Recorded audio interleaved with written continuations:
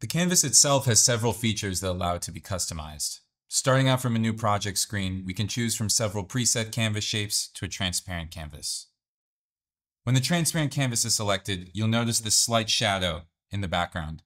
This is the current canvas size. You can also edit the canvas color by selecting from these gradients here.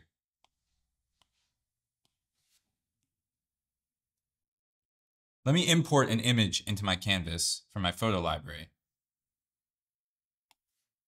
I'm going to start with this image that I drew, which, if you recall, was one of the training images for my Oasis style. This other great feature of the canvas that we can use is the expand tool, where if you drag, you can expand the size of the image. Then in these new margins, you can simply draw, morph again, and you'll create an image that's consistent with the one that you already have.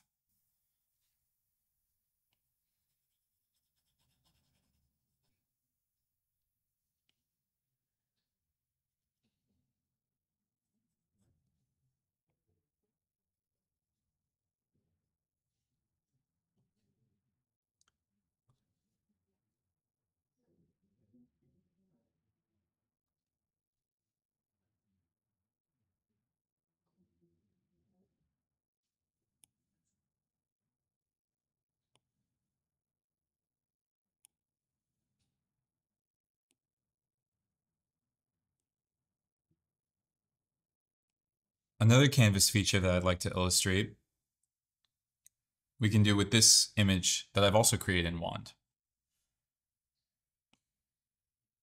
I can use the remove background tool